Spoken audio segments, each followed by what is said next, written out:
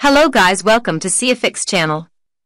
If you wanna watch more video like this always stay subscribe. Share pages with a QR code in Google Chrome. Recently, Chrome rolled out a new feature that allows QR code based sharing. The generated QR code will encode the page URL. This feature enables us to quickly transfer any URL from the desktop computer to a mobile device without actually to type it manually or without syncing the web browser accounts. A QR code, abbreviated from Quick Response Code, is a type of matrix barcode, or two-dimensional barcode, first designed in 1994 for the automotive industry in Japan.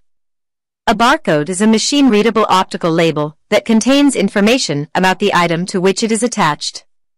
This feature is new and is available starting with the Google Chrome version 88. How to find Google Chrome version number. Click on the menu icon in the upper right corner of the screen. Click on Help and then About Google Chrome. Your Chrome browser version number can be found here. Generate QR codes for any URL in Google Chrome. The feature is currently only available on the desktop version. There are two ways to generate QR codes for any URL. Visit any website which you want to generate the QR code in the Chrome browser. Right-click the web page and choose Create QR Code for this page.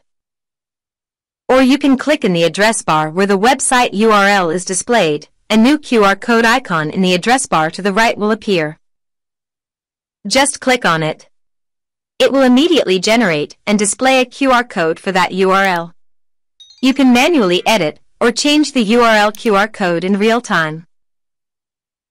You can scan this code on your smartphone using any QR scanner app. There is an option to download the QR code on your computer, which can be done by clicking on the download button. It will save the generated QR code in form of a PNG image with dimensions 370 x 370 pixels. You can also use your camera to scan a QR code from someone else's phone. Okay. That's all. Please subscribe CeoFix channel. If you like this video leave a thumbs up and you can comment. Thanks for watching. Goodbye.